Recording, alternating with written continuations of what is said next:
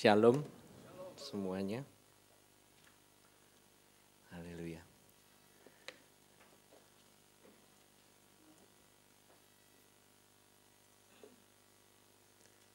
Ya, welcome, welcome untuk semuanya yang uh, sudah datang dan yang baru pertama kali datang.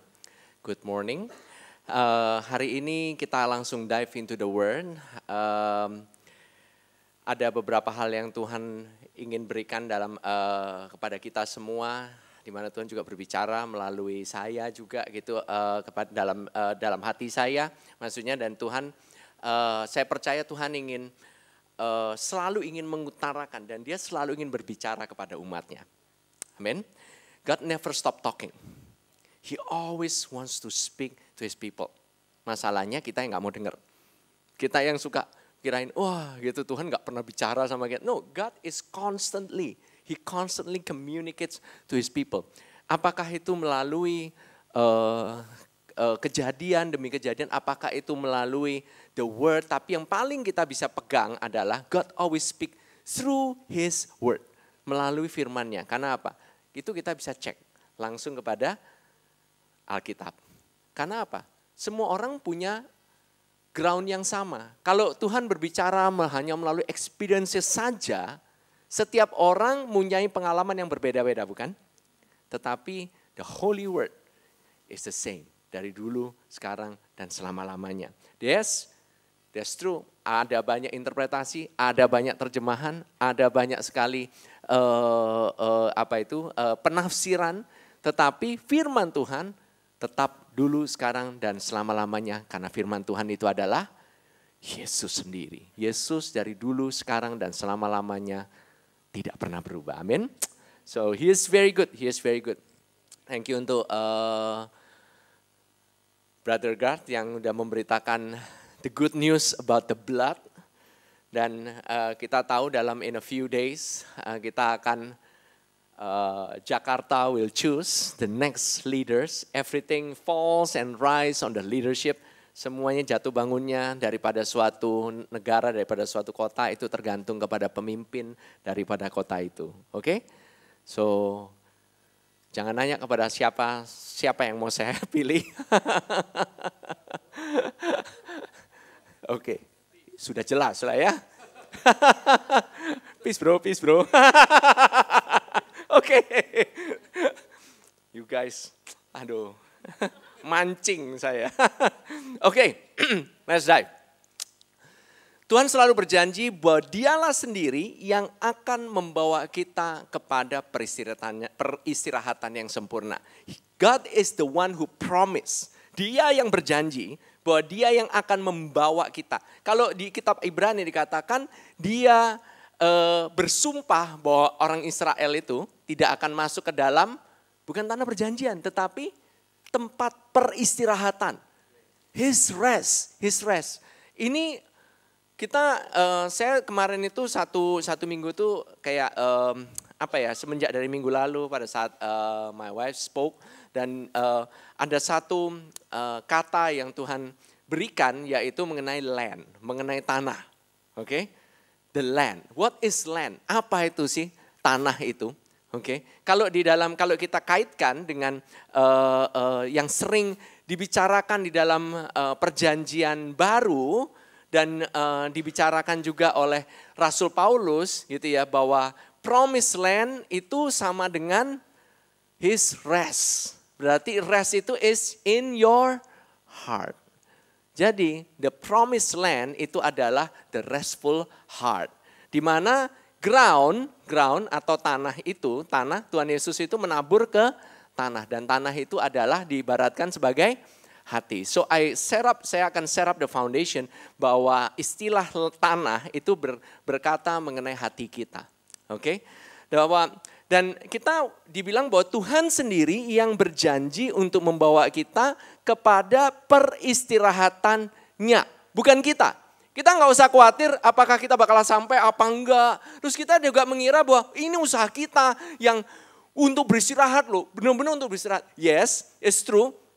Kalian akan labor, labor to enter the rest. Tapi what kind of labor? Kalian bagaimana cara mengusahakannya? It's not your labor Bukannya usaha kalian, bukannya dengan kekuatan kalian, tetapi kalian depend atau kalian bergantung kepada kekuatannya. The way that you labor, bagaimana kalian bekerja atau berusaha untuk masuk peristirahatan, peristirahatannya adalah seberapa kalian bergantungnya sama Tuhan. That's how you depend on the Lord. How do you depend on the Lord? Kalian bergantung kepada Tuhan dengan percaya. You just believe. It's so simple. Oke, okay? saya akan bahas mulai dari kitab ulangan, mulai dari kitab perjanjian baru juga. I'll show you. Bagaimana Tuhan itu menunjukkan kepada saya juga bahwa a restful heart, hati yang beristirahat, it will bring you to the manifesting of God's promises. Amin. Uh, ulangan 6 ayat 10 sampai 11. Dikatakan demikian. Maka apabila Tuhan Allahmu telah membawa engkau masuk ke negeri yang dijanjikannya dengan sumpah kepada nenek moyangmu. Siapa yang membawa engkau? Kamu yang jalan kan? Tapi siapa yang membawa? Tuhan. Dikatakan Tuhan telah membawa engkau masuk. God is the one who brings you in. Kalau kamu misalnya mau berusaha masuk pun kalau memang nggak nggak bisa masuk ya nggak bisa masuk. Tapi Tuhan yang membawa orang Israel itu masuk. Tanpa Tuhan mereka nggak akan masuk. True? Ya kan? Banyak lawannya, banyak penghalangnya, banyak yang ngejar mereka, banyak yang sedang uh, memerangi mereka gitu. Emangnya bangsa Israel 2 juta dibanding sama yang sekitarnya, musuh-musuhnya emang bangsa Israel lebih banyak? Enggak juga. Dan itu juga bukan semuanya 2 juta orang itu tentara semua, enggak kan? gitu loh. Banyak anak-anak juga, banyak wanita. Lihat, lihat. Aside from the opposition, meskipun di antara begitu banyaknya raksasa, Tuhan tetap bisa membawa mereka masuk. Amin. Dikatakan, e, apabila Tuhan alamu yang telah membawa engkau masuk ke negeri yang dijanjikannya dengan sumpah kepada nenek moyangmu, karena Allah bersumpah untuk membawa mereka, Abraham masuk ke tanah perjanjian dan memberikan perjanjiannya, yakni Abraham, Ishak dan Yakub untuk memberikannya kepadamu kota-kota yang besar dan baik yang tidak kau dirikan, rumah-rumah penuh berisi berbagai barang-barang baik yang tidak kau isi, sumur-sumur yang tidak kau gali, kebun-kebun anggur dan kebun zaitun, kebun-kebun zaitun yang tidak kau tanami, dan apabila engkau sudah makan dan menjadi kenyang, maka berhati-hatilah supaya jangan engkau melupakan Tuhan yang telah membawa engkau, kamu membawa kamu keluar dari tanah Mesir dari rumah perbudakan. Lihat tonnya ya, semuanya ya. ya. Kota-kota besar yang baik. Tuhan tuh masuk, bawa masuk orang Israel ke tempat yang sudah selesai. It's done. Semuanya kota-kota besarnya sudah ada. Kalian pernah lihat gak masuk ke kota gitu ya, pergi ke kota gitu, atau pergi satu pulau nggak ada infrastrukturnya, nggak ada rumahnya gitu. Kalian di sana mesti bikin tenda sendiri, eh, mau masak mesti bikin api sendiri gitu, ikan mesti mancing sendiri gitu. Capek nggak? Ya it's fun untuk adventure, but it's not fun kalau disuruh tinggal sana tiap hari. Pernah nonton Survivor? it's not fun. Orang yang di sana itu setiap hari harus nyari sendiri ini rumahnya. Ini begitu masuk, kotanya besar-besar. Sengaja memang dikasih kotanya besar-besar. Karena nanti takutnya komplain, oh dikasih masuk cuman ya standar aja sama dong kayak di Mesir. Enggak, dikasih yang gede. Kemudian dikasih rumah penuh berisi berbagai barang baik. Berarti itu udah full furnish. Pernah pernah masuk ke apartemen full furnish? Kalian pernah masuk ke apartemen yang kosongan? Lebih enakan mana? Enakan furnis tinggal make kan, masuk kan gitu. Coba kalau misalnya pergi ke ke ke, ke hotel gitu. Oke, airnya di mana? Pak, mesti nimba sendiri dulu, Pak. Mandi mesti nimba dulu gitu. Makannya di mana? Ya di dapur sebentar ya. Kita mau bikin dulu gitu. Bapak bisa nggak tolong ambilin rotinya? Eh, gak ada isinya, gak ada mejanya, gak ada apa. Makan di mana? Ngemper aja di bawah gitu. Gak bisa. Nah, sumur yang tidak engkau gali. Kalian tahu nggak membangun sumur itu is not easy. Dapetin air itu is just not easy. Karena nggak semuanya tinggal di bantaran sungai. ya kan, semuanya itu kan ada di kota-kota Di mana yang di gunung itu harus bangun sumur. Ini sumurnya sudah ada, sudah tersedia. Kemudian dikasih kebun-kebun anggur, dikasih kebun-kebun zaitun, anggur dan zaitun itu uh, melambangkan suatu kelimpahan. Is the the fruits of the land. Dan itu tidak kau tanami. Yang nanemin mereka. Orang-orang raksasa, saudara tahu nggak kalau nanam? Sekali nanam banyak. Orang raksasa yang gede banget gitu itu nanemin tuh banyak banyak maka anggurnya gede-gede. Dan apabila engkau sudah makan dan menjadi kenyang. Enggak dibilang engkau sudah mengusahakan, engkau itu makan. Langsung datang, langsung makan. Ini fully service, fully furnished. Semuanya sudah done. Wow. This is the Lord bringing you to a land of rest. Because it is finished. Karena sudah selesai. Our heart hati kita kalau melihat kayak begini, Tuhan baik nggak? Baik. Tapi Tuhan banyak musuhnya, banyak raksasanya, banyak oposisinya. Bagaimana kalau musuh berusaha nyerang kita? Iya kan? Kita begitu masuk rumah, begitu ada orang yang dalam langsung diinjek jebret gitu. Bayangin kayak misalnya uh, Jack and the Beanstalk, tahu nggak apa sih? Uh, bahasa Indonesia apa ya? Jack and the Beanstalk uh, yang bikin kacang polong itu yang dilempar ke, lant, uh, ke ke tanah terus kemudian numbuh gitu terus sampai di atas itu ada tanahnya raksasa. Oke? Okay? Eh, saya nggak tahu kan? Ah, kan sama-sama nggak tahu kan? Bener kan? Bingung kan bahasa Indonesia apa? Jack and the Jaka dan apa ya? Jaka dan kisah Jaka dan kacang polongnya gitu. Kacang, bukan kacang kedelai bro, itu soy, soy bean bro. Juga bukan kacang hijau ini, kacang polong. Jadi begitu sampai di bawah, dia langsung tumbuh besar, sampai di atas dia manjat. Gede-gede semuanya, bukan kayak begitu, oke? Okay? Yes, there are giants in the land, of course. Mereka itu banyak sekali. Tapi Tuhan suruh cuman sampai di sana usir aja, karena dia yang akan berperang juga untuk mereka. Yang merangin siapa? Melalui Tuhan juga. Because karena Tuhan bilang, aku sudah berikan ini tanahnya kepadamu. It's the land of done. Semuanya sudah selesai. Kalau musuhnya menyerang kita dan membuat kita itu enggak beristirahat di dalam dia, dan keadaan kondisi hati kita ini juga dipengaruhi dong dengan keadaan. Bagaimana dengan itu? Ulangan 25 ayat 19 katakan demikian. Maka apabila Tuhan Allahmu sudah mengaruniakan apa? Keamanan kepadamu daripada segala musuhmu di sekeliling. Siapa yang mengaruniakan keamanan? Who give that security? Siapa yang bisa memberikan keamanan selain daripada Tuhan sendiri? Kalian mau jagain? Kalian lihat satu giant aja luar biasa, ini giantnya satu rumah. Kalian pikir dengan gampang gitu. No, Selalu di setiap saat kita dalam kehidupan kita, selalu aja ada yang bisa nyerang kita. Yang lebih jago dari kalian juga banyak. Yang lebih pinter, yang lebih rohani, yang jago segala macam, itu juga lebih banyak daripada kalian. How can you be more than a conqueror? Because Jesus has won it for you. Dia memberikan kepada kalian only by grace, only by favor.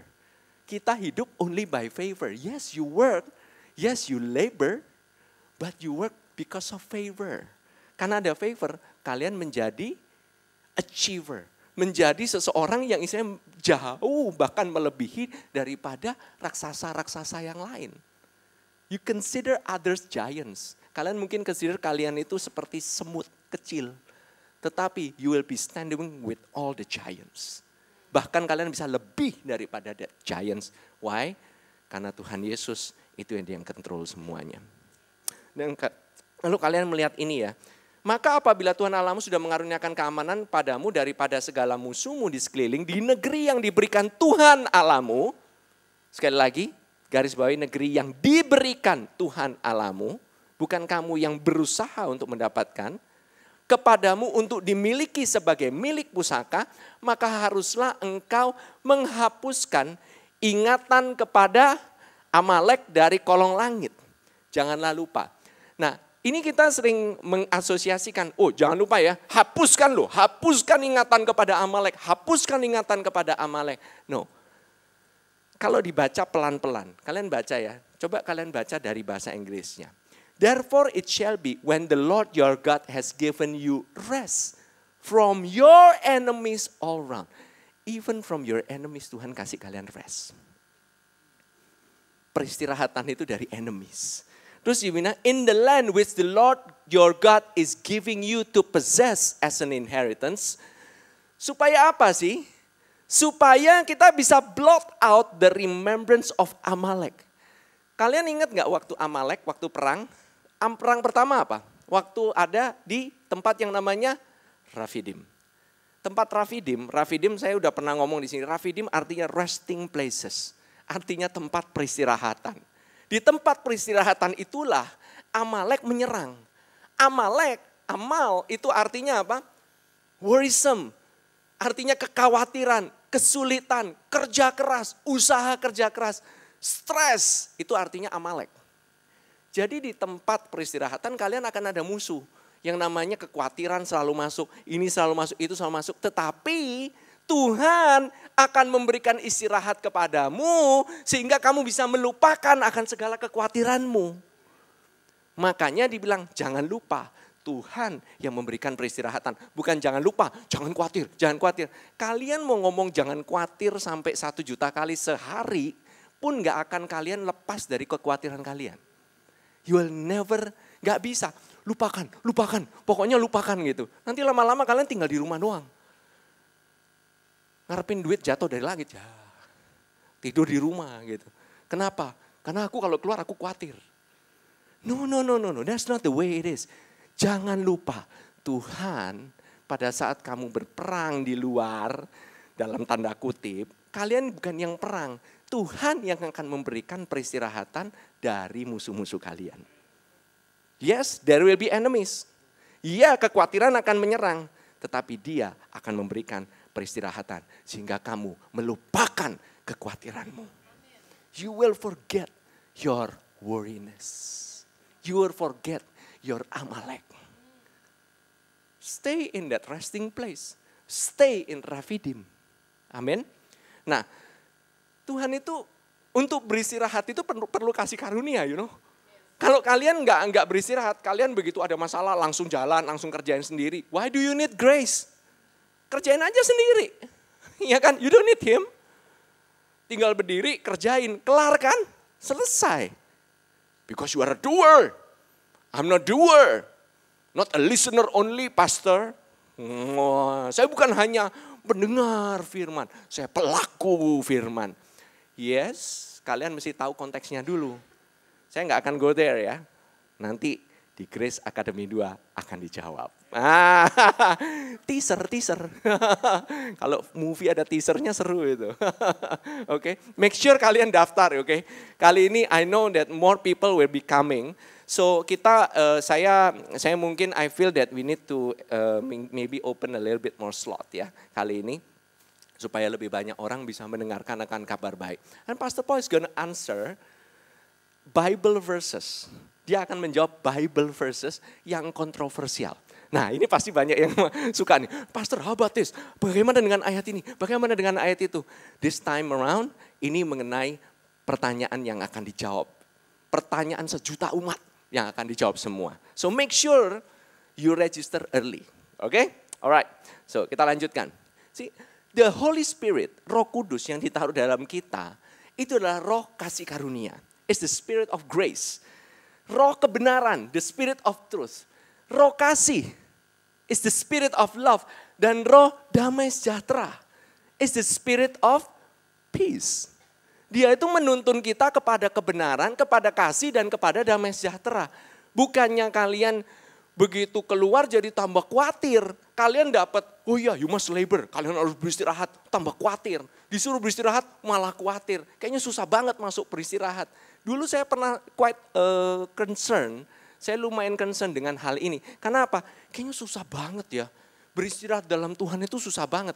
Karena dikit-dikit kita khawatir, dikit-dikit kita khawatir. Kita terlalu fokus dengan kekhawatiran kita. Kita terlalu fokus dengan action yang kita bagaimana untuk beristirahat. Karena sebenarnya ini semua simple.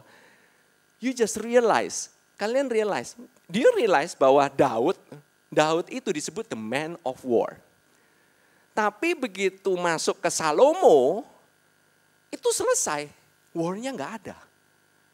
Karena Salomo, Shalomo, Shlomo itu artinya is the king of shalom. Itu adalah damai. Dia itu anaknya damai. Daud itu meskipun dia itu dikasih, tetapi dia masih perang-perangan. Tapi dia yang menyediakan bahan, dia yang menyediakan segala e, membangun kerajaannya untuk siapa? Untuk Salomo. So David, Daud gambaran daripada Tuhan Yesus, the most beloved in heaven, dia itu menyediakan segala sesuatunya, dia perangin segala musuhnya supaya Salomo nggak usah perang, supaya kita nggak usah perang. We are the Shalomo. ya kan? Salomo itu mengalami damai sejahtera. Harusnya we are led forth by peace. Selalu dipimpin keluar tuh by peace. Gak peace, ya jangan. Kalau misalnya kita ini nggak nggak nggak kita ini gini ya, um, problemnya, masalahnya kita ini udah dikasih tahu jalannya ini loh. This is the way. Ini lebih restful daripada jalan yang ini. Kita udah dikasih tahu jalannya. Kita bisa nggak mau jalan lewat situ. Kita milih jalan yang susah-susah. Karena apa? Di sini kalau saya jalan, kelihatan banget. Saya kan bisa kelihatan nih. Saya perform, perform banget. Saya kalau achieve, saya kelihatan nih. Kalau di sebelah sini nggak ada orang yang lihat. Cuman Tuhan yang sama, sama saya yang lihat. This way is easier. Orang gampang, resultnya cepat. Saya langsung act and I can do it. Saya punya kemampuannya. Paling mudah kan? People always say that they can do it. Always. Mereka merasa mereka itu selalu overestimate themselves. Wah, kaget kan? Supaya ini untuk ini ini bukan disengaja, tetapi ini bagian bagi Tuhan bilang, "Oi, bangun." mungkin Samovas agak terlena begitu ya. Oke, suara saya mungkin mendayu-dayu. nah, gini ya. Kita ini nggak percaya kenapa sih mesti masuk jalan yang kayak begini? Restful, restful, restful uh, way. Karena apa? Yang di sini masa sih pertanyaan, masa sih segampang itu? Just rest and believe dan saya dapat. Too easy, pastor. It's just too easy. Pasti ada kayak pewahyuan gimana gitu loh. Yang enggak mesti lebih dalam lah, kita mesti berusaha lah masuk lebih dalam, berusaha dengan gimana cara kita untuk mikir gitu supaya dapat pewahyuan, biar lebih mantep lah gitu loh pastor. Well, in a way, as long as you keep searching, searching, searching, searching, your soul will never rest. Let me show you ya, saya akan tunjukkan. Yeremia 6 ayat 16. Dibilang begini, beginilah firman Tuhan, ambillah tempatmu di jalan-jalan dan lihatlah, tanyakanlah jalan-jalan yang dahulu kala, di manakah jalan yang baik. Tempulah itu, dengan demikian jiwamu mendapat ketenangan. Tetapi mereka berkata, kami tidak mau menempuhnya. Hmm, Amplified bilang begini, Thus says the Lord, stand by the roads and look. Ada yang bilang uh, stand by the roads itu stand by the crossroad. Jadi udah ada persimpangan jalan. Waktu persimpangan jalan, kalian persimpangan jalan jangan nyelonong ke mana-mana. Kecelakaan terbesar paling sering terjadi di persimpangan jalan. hmm, pewahyuan ya. Kalau di Indonesia sih ajaib sih kadang-kadang persimpangan jalan bisa bisa lewat, bisa numpuk, bisa macet. Jarang terjadi kecelakaan. Saya bingung di Jakarta bisa kayak begitu. But most of the uh, kecelakaan itu biasanya terjadi di persimpangan jalan karena apa? Mobil lihat lampu kuning, merah, hijau. Merah artinya uh, bukan ya, bukan tambah tancap gas ya. Kalian merah tancap gitu. Lihat kuning lebih cepat lagi. ya kan? Ini ini the thing is gini, Tuhan bilang stand by the roads and look. As for very interesting, zaman dulu ini kalau di New King James dibilangnya old path, tetapi ada terjemahan yang bilang the eternal path. Artinya apa? Jalan yang abadi. Jalan yang kekal itu. Siapakah the way, the truth, and the life itu? Jesus is the way. Look for that road Lihat jalan yang where the good old way is. Old itu bukan berarti tua kayak jalannya itu usang atau kayak gimana. Itu adalah jalan yang sudah ditunjukkan sama Tuhan. Itu adalah jalan di mana kebenaran itu ada. Tapi kita suka nggak mau kan? Wah jalannya bosen pastor. Lebih seru lewat jalan tikus. Atau lewat gang senggol.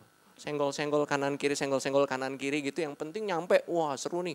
Gue lewat jalan tikus. Wah bangga lewat jalan tikus. Gue sih nggak bangga, mobil gue besot-besot. So sorry ya. Ya. dalam, dalam artian gini loh.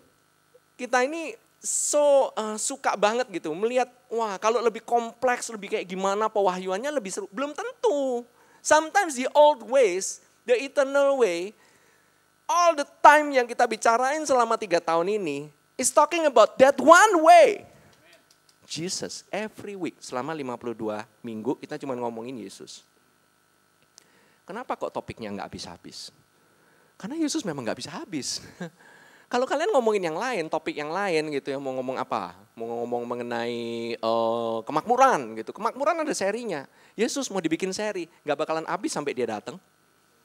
There's always a topic because he is so beautiful. He is the fairest of ten thousands.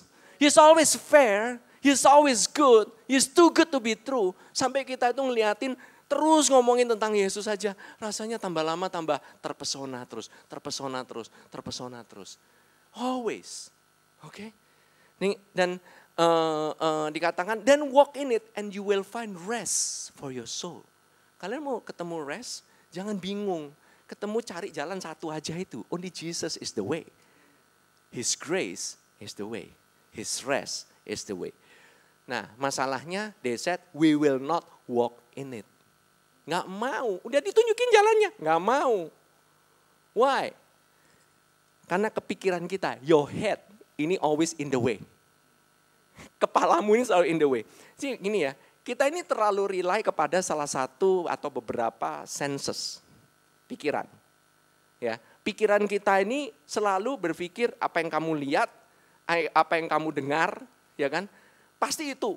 If it looks like a duck, it sounds like a duck, it must be belum tentu loh saya kita ini harus bergantung kepada our spiritual senses lebih lagi kan.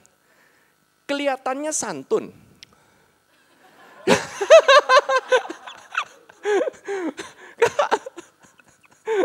Kelihatannya bagus ya, ganteng. Ya kan? Belum tentu. Oke. Okay? See, Somehow I got the revelation ini pas saya lagi makan di restoran with our brother Rodney and Ajeng. This really interesting restoran. Ini ini restorannya ini namanya molecular gastronomy. Pernah tahu ya? Molecular gastronomy. Jadi dia masak itu nggak pakai cara konvensional. Dia masak ada yang pakai liquid nitrogen lah, bikin apa lah gitu. Saya bingung, habis disuruh makan itu ya caranya mesti tutup hidung. Tutup hidung, masukin rasanya dulu, baru habis itu hidungnya di smell, dicampur rasanya bisa sesuatu yang berbeda. What you look, what you see is not what you get. Saya ngelihatnya modelnya kayak telur ikan, saya makan kayak rujak. Bingung kan? It confuse my mind. It confuse my mind. Why? Kita ini terlalu bergantung kepada apa yang sudah terbiasa, mata kita, telinga kita, senses, physical senses. Oke? Okay? Kita punya indera perasa itu fisik sekali. Jarang kita bergantung kepada indera perasa roh kita. Roh kita itu sebenarnya lebih real. Nah, the thing is, uh, once you close your eyes, waktu kalian tutup mata kalian, waktu senses yang lain itu ditutup hidungnya, waktu kalian makan, rasanya itu berbeda, lebih berasa. Sebelumnya nggak berasa, tahu-tahu kita bisa merasakan sesuatu yang berbeda. Nah, it's the same kita ini sering gak restful waktu dilihat decisionnya. Ini kesempatan loh, benar ini kesempatan. Ayo dong, cepetan sign, cepetan sign. Didorong-dorong, ayo dong, deal ini, ini, ini gak bakalan ada dua kali lagi. Diskon ini cuma sampai tanggal sekian. Pas begitu udah habis, ada diskon lagi. It's always like that gitu loh. Oh, this phone man, this phone man. Lu gak ambil sekarang man, mau nyesel, nyesel, nyesel udah ngambil nyicilnya setengah mati, nyicil-nyicil gitu sampai 2-3 tahun, nyicil nggak kelar-kelar ternyata, toto pas hari seminggu setelahnya harganya ngedrop. Nyesek nggak? Nah, ya kan penyesalan, mohon maaf, nasi sudah tidak bisa jadi bubur, bubur nggak bisa balik lagi jadi nasi. Ya, it's like the thing is kita ini banyak terjadi itu dalam keputusan kita itu penyesalan karena kita rush. We never rest, find the rest first here. Kita nggak pernah menemukan istirahat kita pada saat kita mengambil decision. Kita ini terlalu bergantung kepada physical senses kita. Oh ini pasti bagus. Ini pasti bagus. Itu pasti oke. Okay. Ini pasti oke. Okay. Sometimes the one that rule yang mengatur kita punya keputusan kita ambil keputusan berdasarkan pohon pengetahuan baik dan jahat, bukan berdasarkan pohon kehidupan. Nah, ini kemarin sempat dibahas pada waktu GA yang pertama. Saya nggak akan bahas lebih dalam lagi, tetapi saya ingin ngomongin terus ya, bahwa promised land itu adalah peristirahatan. Tanah perjanjian di perjanjian baru, di dalam perjanjian baru di kitab Ibrani disebut sebagai the land, sebagai not the promised land.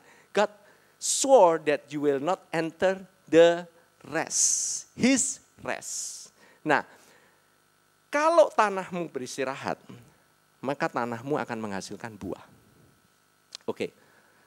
let's see ya. Di perjanjian lama itu ada di kitab keluaran, Tuhan itu menyuruh orang Israel untuk mengistirahatkan tanahnya. Keluaran 23 ayat 10 sampai 11. Dikatakan demikian. Enam tahunlah, enam tahunlah lamanya engkau menabur di tanahmu dan mengumpulkan hasilnya. Tetapi pada tahun ketujuh, haruslah engkau membiarkannya dan meninggalkannya begitu saja. Supaya orang miskin di antara bangsamu dapat makan. Dan apa yang ditinggalkan mereka haruslah dibiarkan dimakan binatang hutan. Demikian juga kau lakukan dengan kebun anggurmu dan kebun zaitunmu. Di dalam uh, the law of the uh, dari Torah, Torahnya mengenai uh, tanah daripada Israel itu, setiap enam tahun setelah ditanamin, dipupukin, diairin, diambil hasilnya, diusahakan terus, tanah itu harus mengalami juga peristirahatan. Bukan cuma manusia. Ini secara literal, literal tanah harus beristirahat. Kalian pernah dengar kejadian ada beberapa gagal panen nggak di Amerika? Huge gagal panennya itu. Karena apa? Tanahnya nggak pernah istirahat, nggak pernah diputar. Beberapa yang pernah tinggal di luar negeri, beberapa yang pernah tahu bahwa di agriculture, karena begitu produktifnya, setiap tujuh tahun, pokoknya tanah itu nggak pernah ada istirahatnya. Tapi kalau di Israel lain, by law, secara hukum mereka harus mengistirahatkan tanahnya. Kalau mereka nggak beristirahatkan tanahnya, mereka itu melanggar hukum agamanya, hukum Yahudi.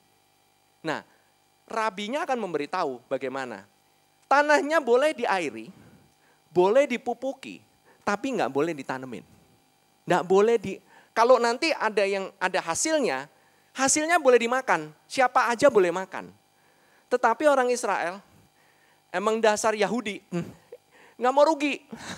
Jadi mereka mereka itu bilang, terus gimana caranya? Kalau kalau tahu-tahu diambil orang, tanahnya direbutin orang, diduduki. Jadi mereka itu biasanya sangat tidak dianjurkan untuk ngambil-ngambilin begitu ada tanah gitu ya. Oh ini tanah, ini tahun sabat kan gitu ya. Wah ngambil aja langsung masuk selonong boy, masuk ke dalam tanahnya ngambilin hasilnya, langsung ditembak.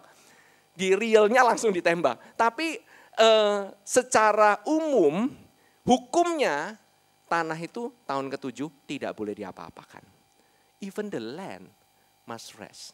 That's why saya bilang, the heart kalau sudah bekerja terus setiap hari, setiap hari, this is your day of rest. You will rest your heart here. Why? Kenapa tahu nggak? Pada hari Minggu, kamu itu mendapatkan istirahatmu. It starts with your rest. Waktu kalian mendengarkan firman Tuhan, mendengarkan Yesus, yang memberikan peristirahatan kepadamu, maka tanahmu, hatimu will enter rest. Waktu rest, kamu hari-harimu akan lebih berbuah. Saya buktikan. Nih ya. Imamat 25 ayat 1. Eh sorry, sorry. Uh, ya, Imamat 25 ayat 1. Saya bacain dulu. Tuhan berfirman kepada Musa di Gunung Sinai. Ini hukumnya ya. Berbicaralah kepada orang Israel dan katakan kepada mereka, apabila kamu telah masuk ke negeri yang akan kuberikan kepadamu, maka tanah itu harus mendapat perhentian sebagai sabat bagi Tuhan. Enam tahun lamanya engkau harus menaburi ladangmu, enam tahun lamanya engkau harus merantingi kebun anggurmu dan mengumpulkan hasil tanah itu. Tetapi pada tahun yang ketujuh haruslah ada bagi tanah itu suatu sabat, masa perhentian penuh, suatu sabat bagi Tuhan ladangmu janganlah kau taburi dan kebun anggurmu janganlah kau rantingi. Dan apa yang tumbuh sendiri dari penuaianmu itu janganlah kau tuai. Dan buah anggur dari pokok anggurmu yang tidak dirantingi janganlah kau petik. Tanah itu harus menjadi tahun perhentian penuh. Jadi satu tahun penuh ya, tanahnya itu harus istirahat. Bagi tanah itu, hasil tanah selama sabat itu haruslah menjadi makanan bagimu, yakni bagi dirimu sendiri, bagi budakmu laki-laki, bagi budakmu perempuan, bagi orang upahan, dan bagi orang asing di antaramu yang semuanya tinggal padamu, juga bagi ternakmu dan bagi binatang liar yang ada di tanahmu, segala hasil tanah itu menjadi makanannya. Si bahkan ya, the result ini, ini nih setelah tujuh tahun, dikali tujuh tahun, sekarang ini mereka memasuki memasuki masa yang namanya the Great Jubilee. Oke, okay? the Great Smita. Oke, okay? ini Smita itu namanya sabat, sabat yang besar gitu. Oke, okay? jadi uh, waktu Jubilee itu tanah itu itu harus dikembalikan kepada pemiliknya. Well, it doesn't happen that way, literally sekarang ini. Karena kalau dibalikin semua, termasuk utang-utang juga harus bebasin. Di bank-banknya di Israel nggak ada orang main bebasin utang. Oke, okay, semua utang beres gitu. Nggak bakalan ada itu terjadi. So, mereka sebenarnya kalau mau melakukan hukum Taurat, mereka juga pilih-pilih. Supaya nggak rugi. It's the Jews. It's the Jewish mindset. Mereka ngakalin. Tuhan tahu mereka mau ngakalin. Tuhan tahu mereka pasti how to get away ya. Coba saudara bayangkan satu tahun penuh nggak ada yang mengusahakan. Berapa banyak pekerja yang harus dipecat.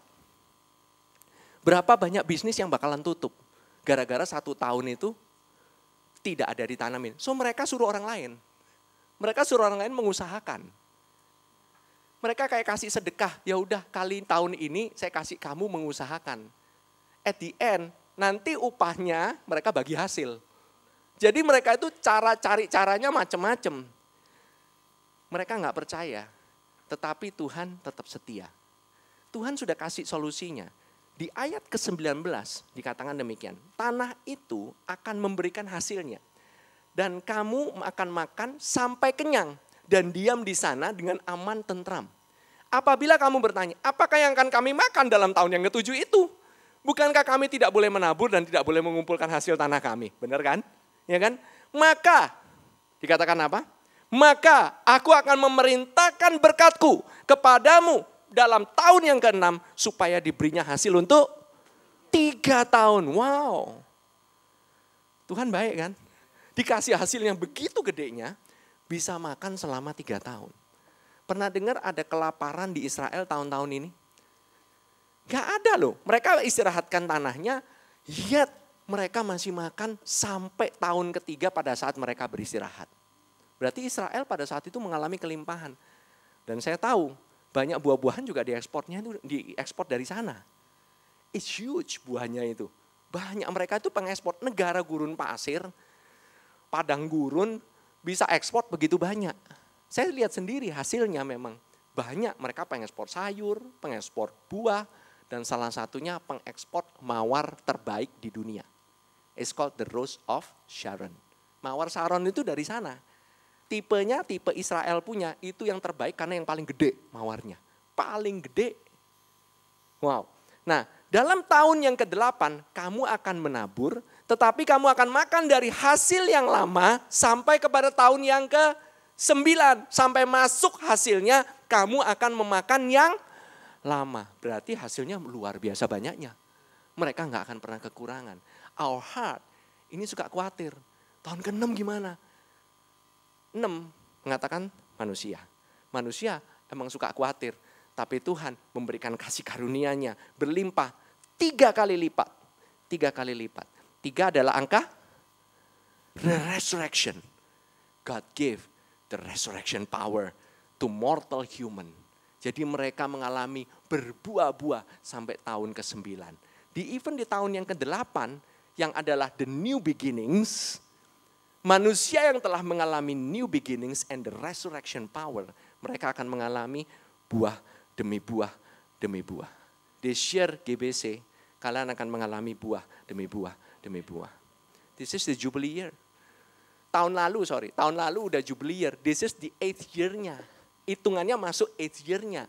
Kalian akan memakan buah dari tahun ke-6.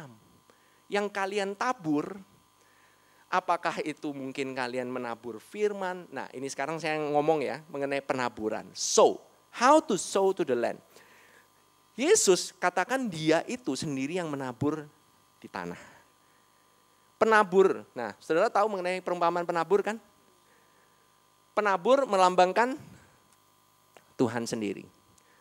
Tanah melambangkan hati. Benih melambangkan firman. Betul. Nah, jadi a good land, jadi kan dibilang tanah yang baik akan menghasilkan buah kan? 30, 60, 100 kali lipat. Dulu saya sering khotbahnya satu sisi. Dalam satu sisi begini, ada empat kondisi hati orang Kristen. Yang pertama, tanah orang Kristen itu ada tanahnya keras, berbatu-batu. Artinya orangnya itu nggak ngerti firmannya, langsung diambil.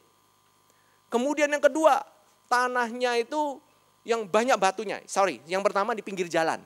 Pinggir jalan nggak ngerti, langsung diambil sama iblis. Burung kan melambangkan iblis. Kedua, tanah yang berbatu-batu.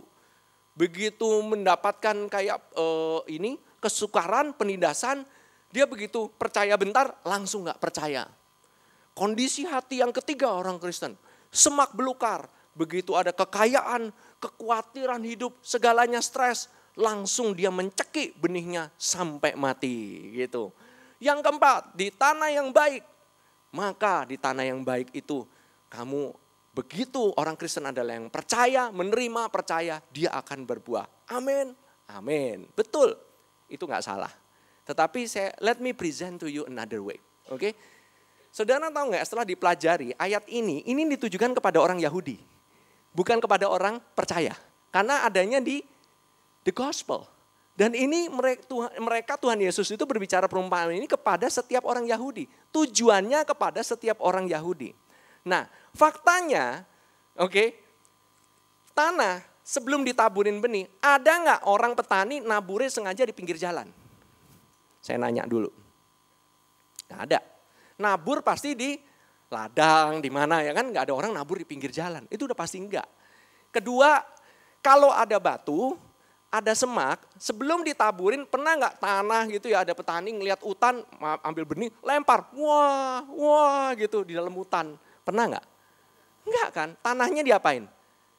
Bersihin dulu, batu-batu diangkatin, semak belukar dibersihkan, ada hama dibersihin, tanahnya siap ditanamin, baru di, baru dikasih benih. So, kesimpulannya, oke? Okay? Bagi kita orang ya, orang yang percaya, tanah ini adalah selalu tanah yang baik.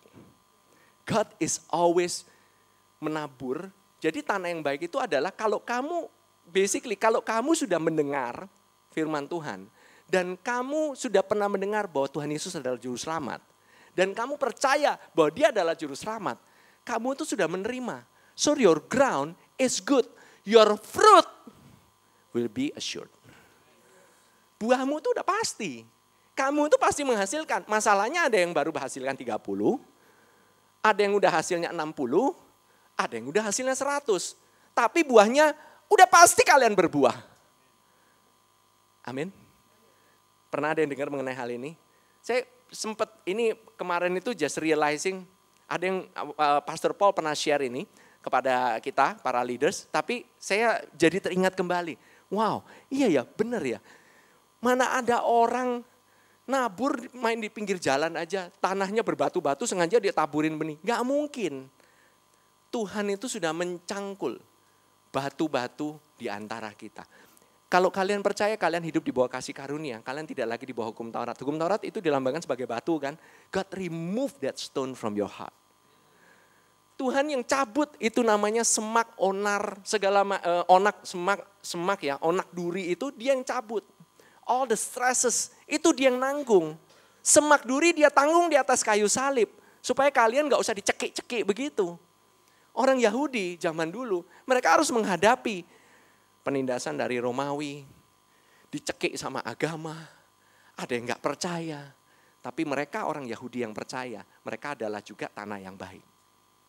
So, your ground is always a good ground.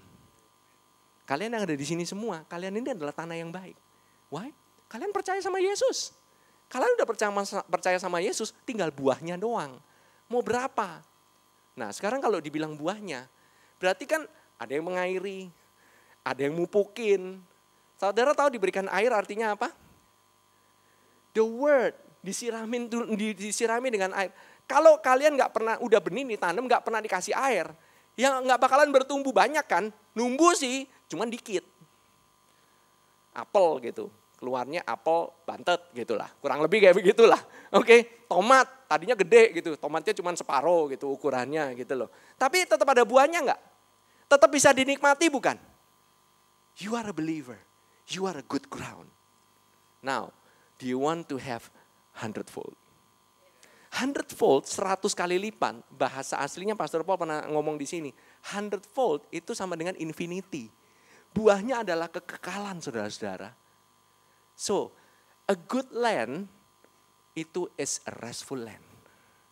Kalau kalian mau menghasilkan buah, a fruitful land, be more restful. Amin. Nah, nah, waktu kita berpikir bahwa breakthrough kita dari challenge kita, dari tantangan-tantangan kita ini tergantung daripada, wah, saya kalau gitu saya harus taat nih. Saya benar-benar harus taat sama Tuhan. Kan Tuhan sudah bilang, saya harus menjadi tanah yang baik. Saya benar-benar harus mengangkat semuanya batu-batu dan semak-semak dalam kehidupan saya. Kayaknya usaha kita banget gitu ya. You know, dan hati kita nggak bakalan pernah beristirahat. Kenapa? Karena kita tidak akan pernah bisa mentaati Tuhan secara perfect. Can you? Bisa nggak setiap saat gitu jadi, wow, nggak ada kekhawatiran. Pernah? Setiap saat, wow, nggak ada yang namanya penindasan. Nggak bisa. The thing is, kita bergantung kepada ketaatan Yesus. Amin. Tuhan Yesus yang taat. Kita yang beristirahat di dalam dia. Kita menghasilkan buah 30, 60, 100 kali lipat. Saudara, Ibrani 13 ayat 9 katakan demikian. Benih itu macam-macam. Mau benihnya baik, mau benihnya dari pohon apa, tergantung kan. Kalau benihnya apel tumbuhnya apel. Kalau benihnya semangka, pasti tumbuhnya semangka. Pernah saudara nanam semangka tumbuhnya duren? Enggak pernah kan? Tergantung benihnya. Ibrani 13 ayat 9 katakan, janganlah kamu disesatkan oleh berbagai-bagai ajaran asing.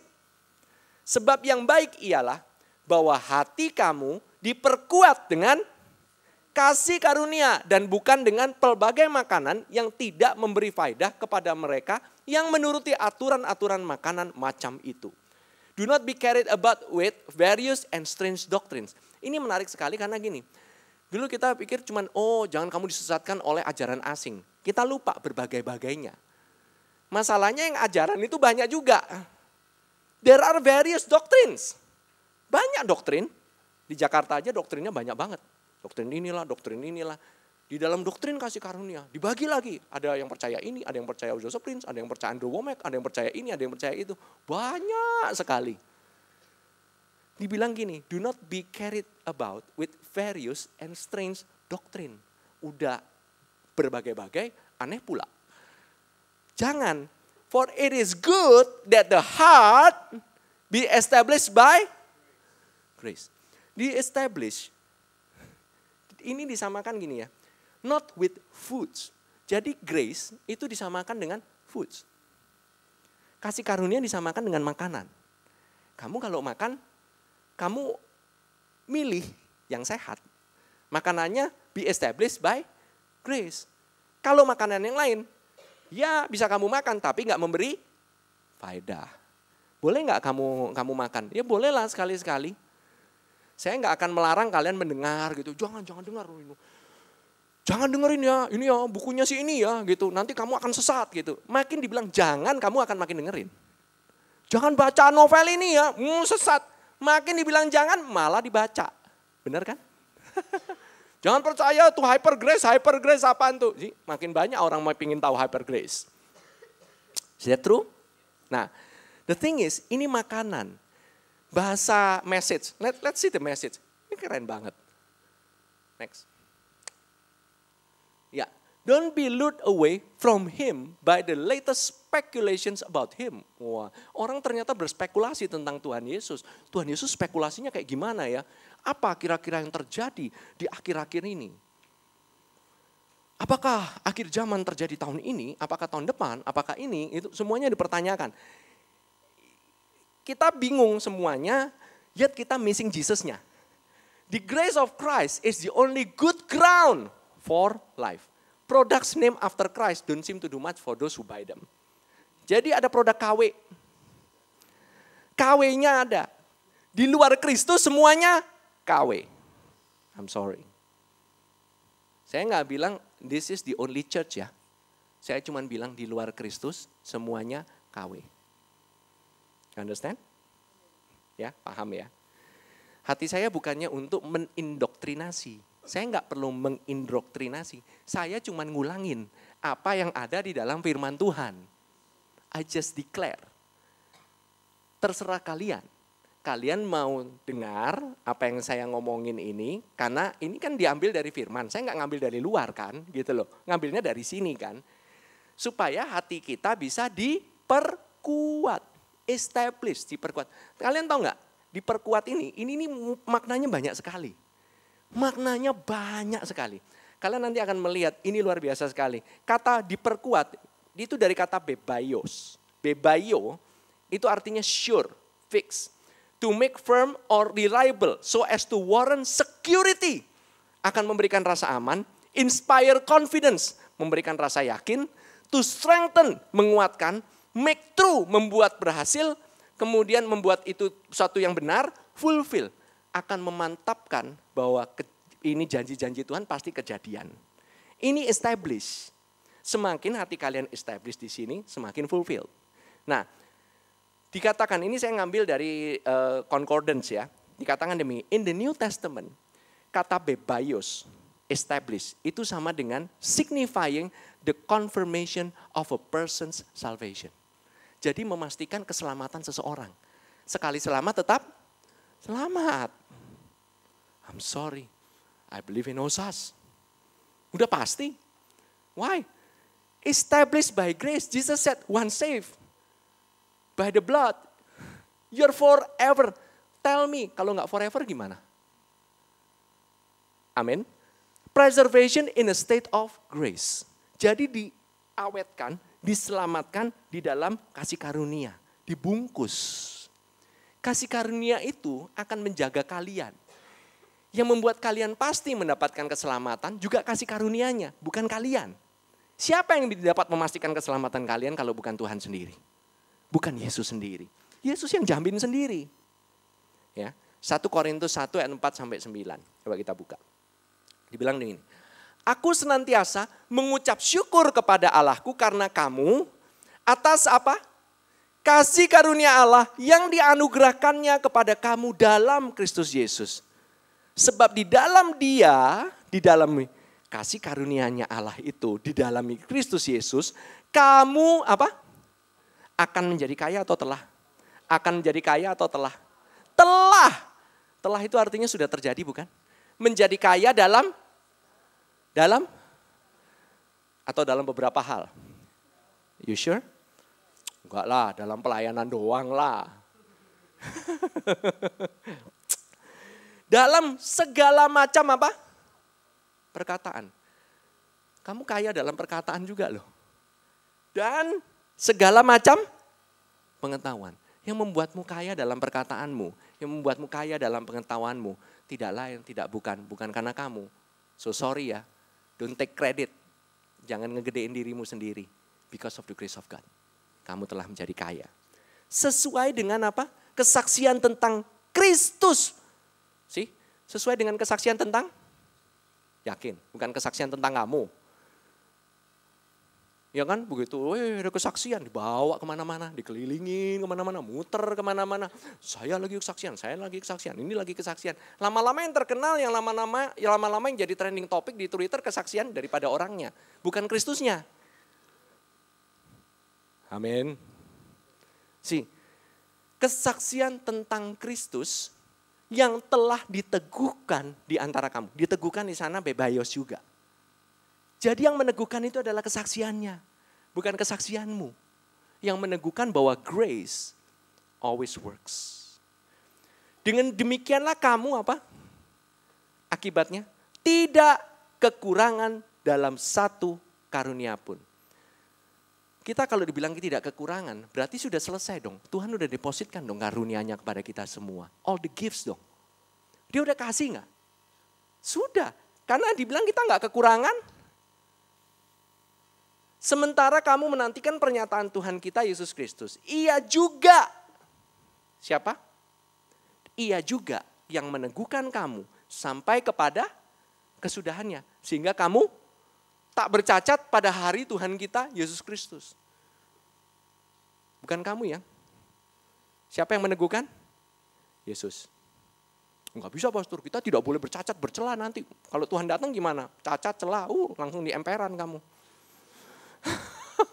pinggir-pinggir ono gitu ya dekat uh, ini apa itu uh, dekat restoran Amigos agak minggir got sedikit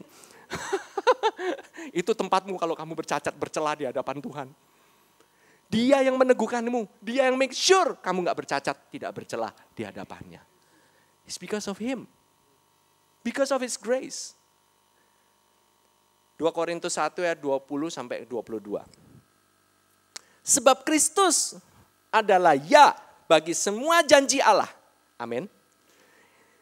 Itulah sebabnya oleh dia kita mengatakan amin untuk memuliakan Allah.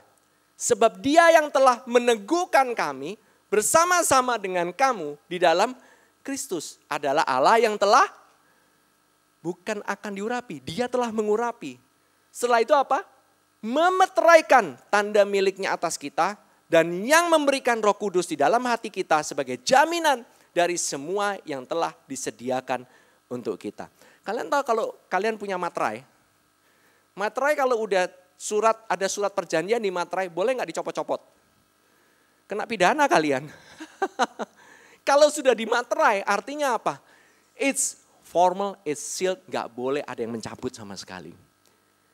Nah, Roh Kudus diberikan kepada kalian. Jaminannya apa, pastor? Nah, sekarang gini, kalian pernah mau eh, apa itu mau ngambil barang gitu ya?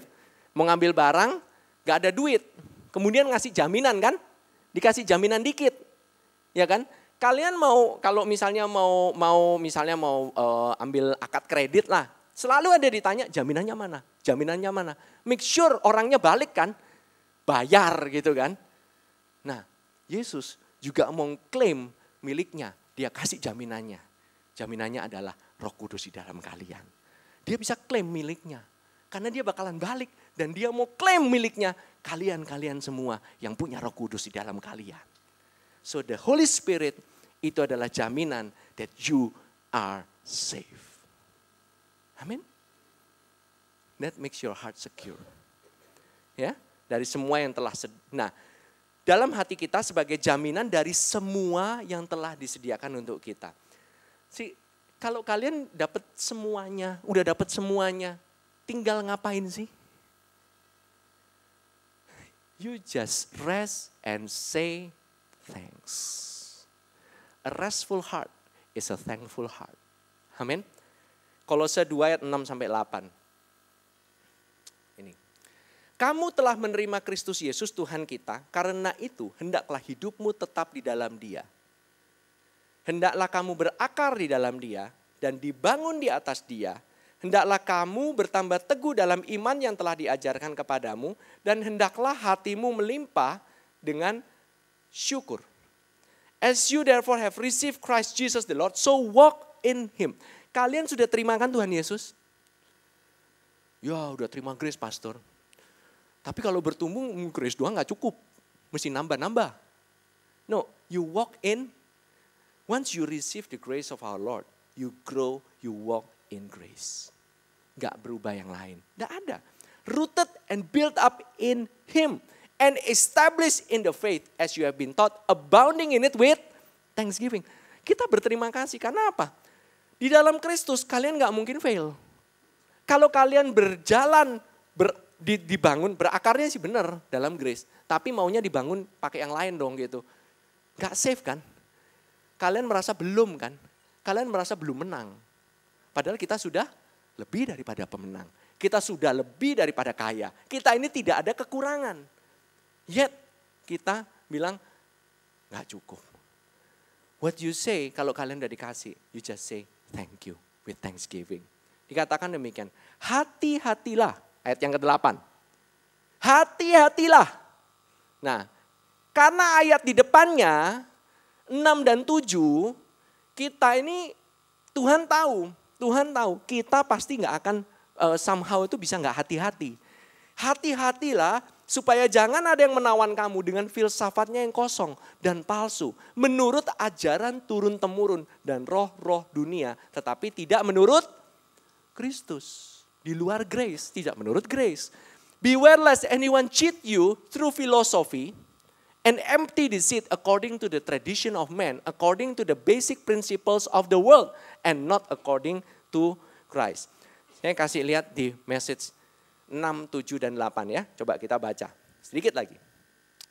My counsel for you is simple and straightforward. Gampang kok. Just go ahead with what you have been given. Kalian sudah diberikan keselamatan, go ahead. You receive Christ Jesus the Master, now live Him. You are deeply rooted in Him. You are well constructed upon Him. You know your way around the faith. Now do what you've been taught. Schools is out.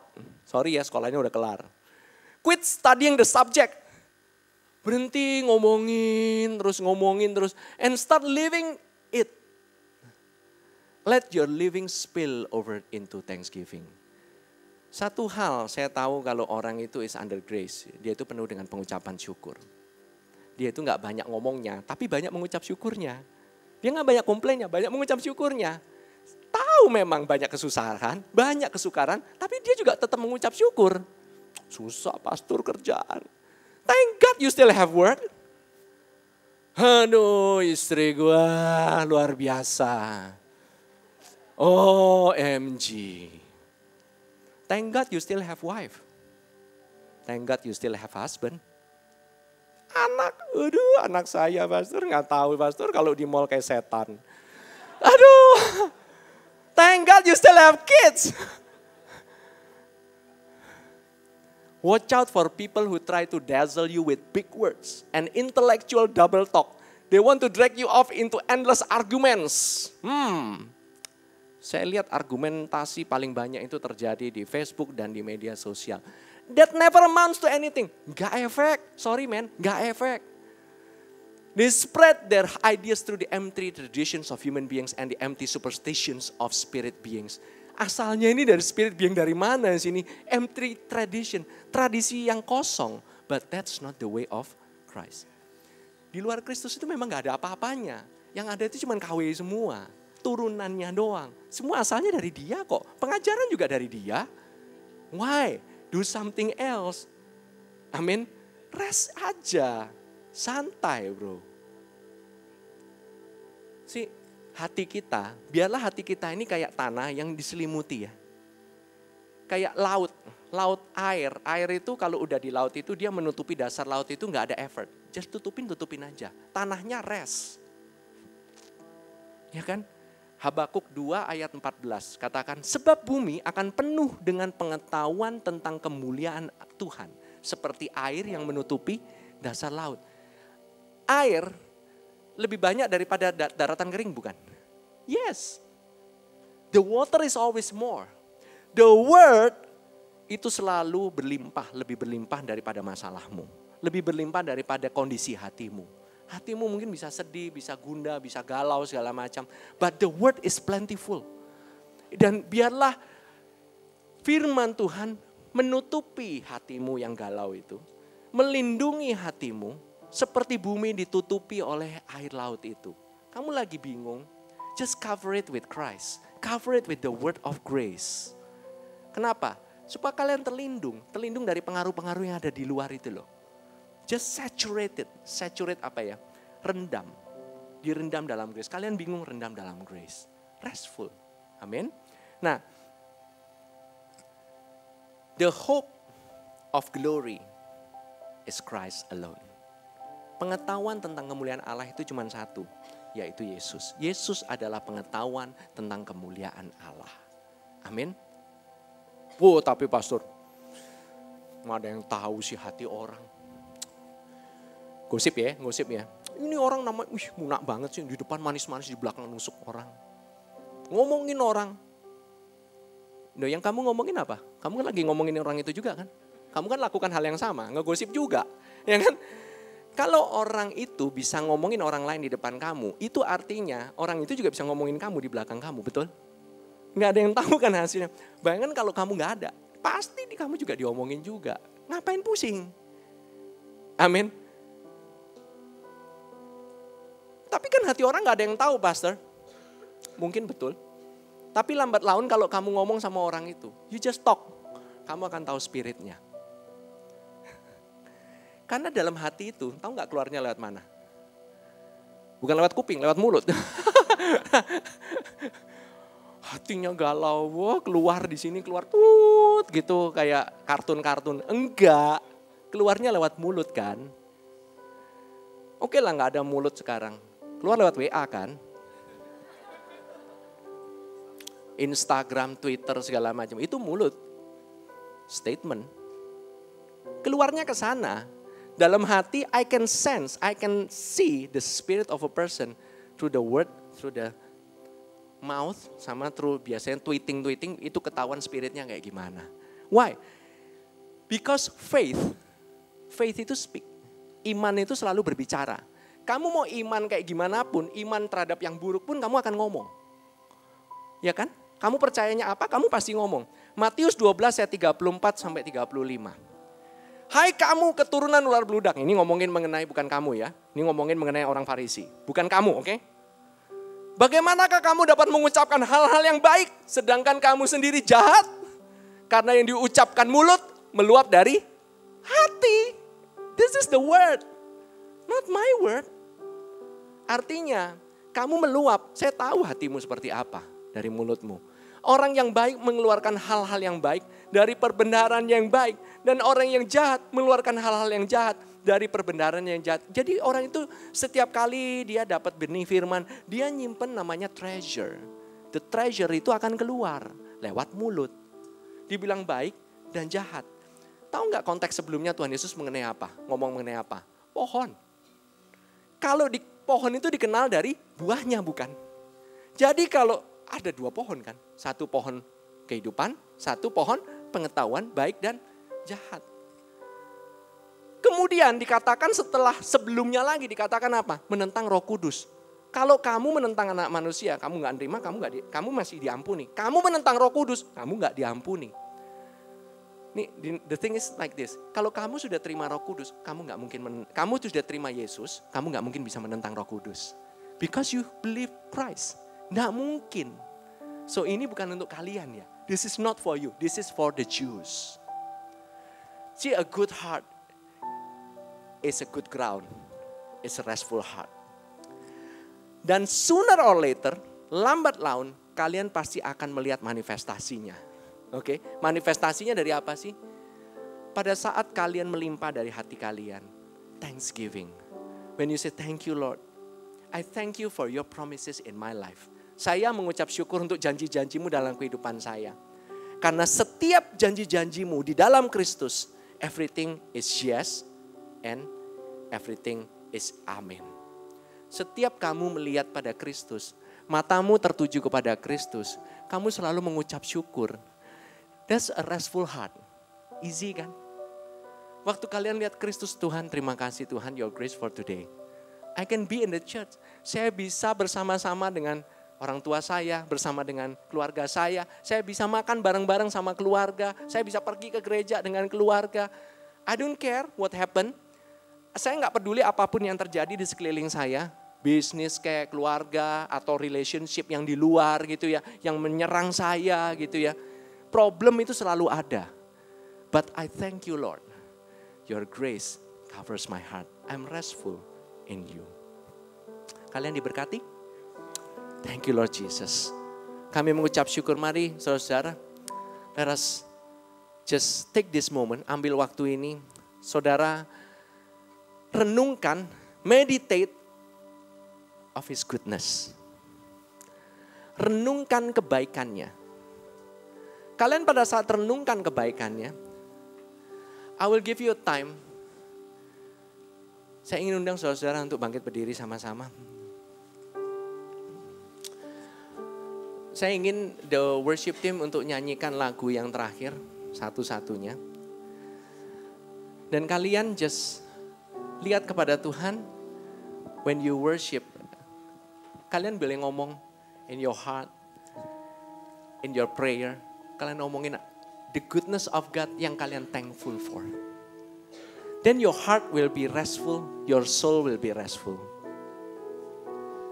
Biarlah kalian melihat Tuhan, hari ini semuanya fokus, just look to him and just look to his beauty.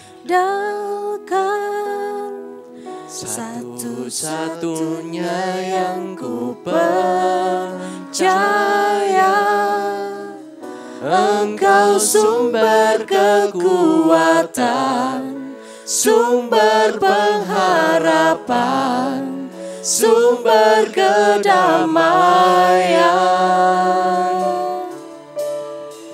Satu-satunya yang ku andalkan,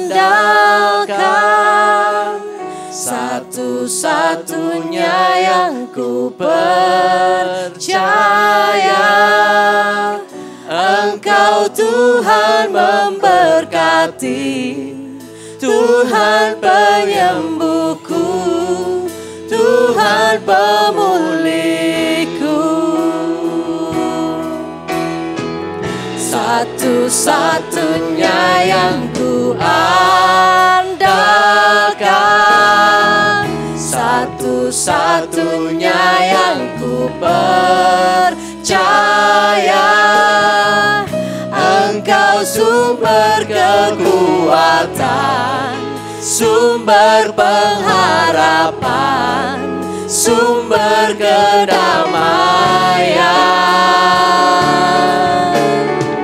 Satu-satunya yang ku andalkan, satu-satunya yang ku percaya.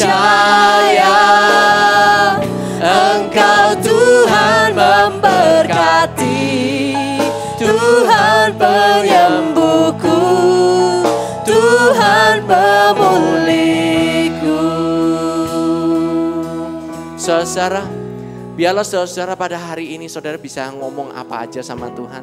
Just be thankful. Be thankful for whatever that He has given you. Thank you Lord Jesus. I give you a time.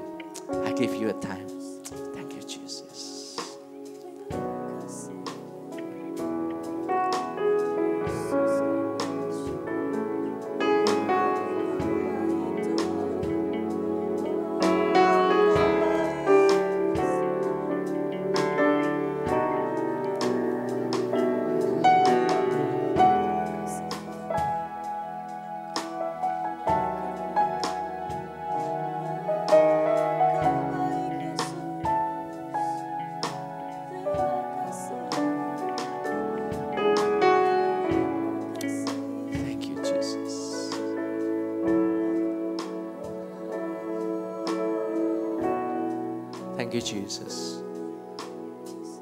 Kasih Tuhan untuk setiap keluarga demi keluarga. Terima kasih Tuhan Yesus untuk every member of this church. Thank you Lord Jesus for every children, for every husband and every wife. Thank you Lord Jesus for the grace of God upon every businesses. Thank you Jesus. Terima kasih Tuhan untuk kasih karuniamu di dalam pelayanan, di dalam pekerjaan kami, di dalam keluarga kami, di dalam setiap hubungan kami, di dalam pertemanan kami, di dalam setiap koneksi. Bapa dengan anak, ibu dengan anak, saudara-saudara semuanya. Thank you Lord Jesus for the love, for the grace of our Lord Jesus Christ. Thank you Lord Jesus.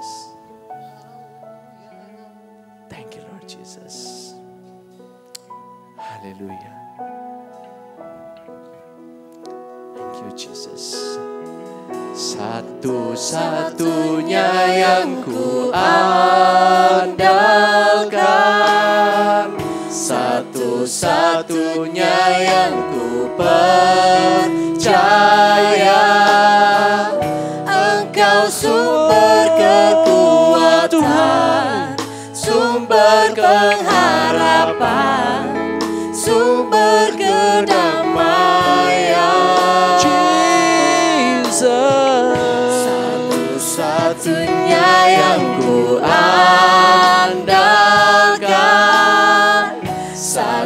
satu-satunya yang ku percaya.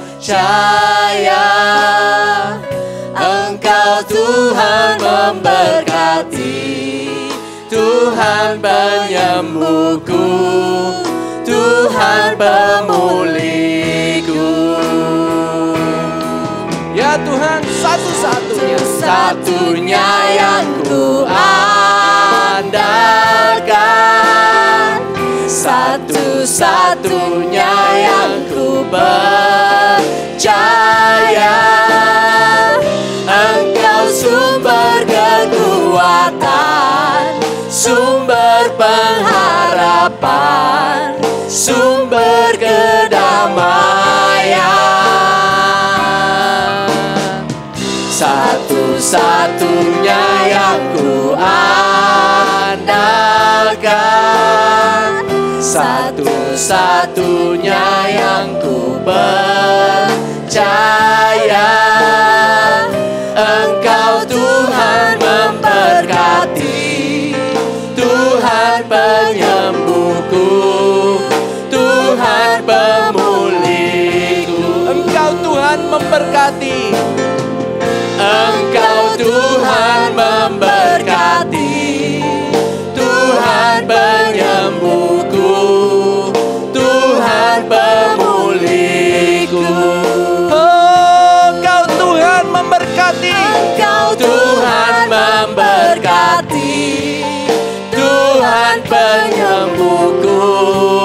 Tuhan pemulihku Terima kasih Tuhan Yesus Kami mengucap syukur ya Tuhan Thank you Lord Jesus Kami mengucap syukur Tuhan Yes Lord, you are my healer. You are the one who bless us.